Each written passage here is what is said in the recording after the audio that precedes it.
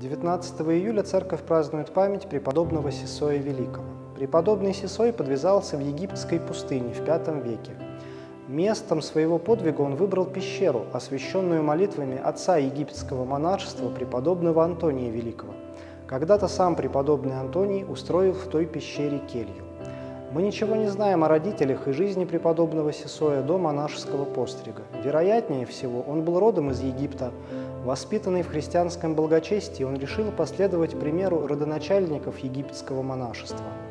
Известно, что преподобный Сесой был очень строг к себе, но с милосердием и любовью относился к ближним, принимая и помогая всем, кто приходил к нему.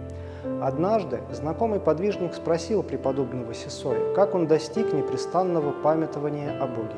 На это преподобный ответил, это еще не сложно, гораздо важнее и труднее считать себя ниже всех и научиться смирению.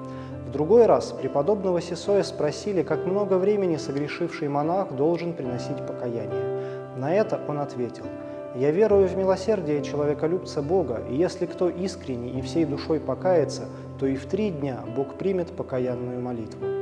Со временем к преподобному Сестою стали собираться ученики. Он наставлял их с любовью и сам был примером во всех добродетелях.